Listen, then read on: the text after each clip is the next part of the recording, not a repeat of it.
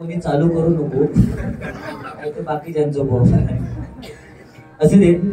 आज सत्यनारायणाची महापूजा आयोजित करून या ठिकाणी हा पारंपरिक भजनाचा सामना मुंबई म्हटल्यानंतर ट्वेंटी ट्वेंटी कारण स्वीट अँड शॉर्ट पण आज या ठिकाणी सकाळपर्यंत हा सामना चालू राहणार आणि उद्या मकर संक्रांत आहे. सर्वांना मकर संक्रांतीच्या लाख लाख शुभेच्छा.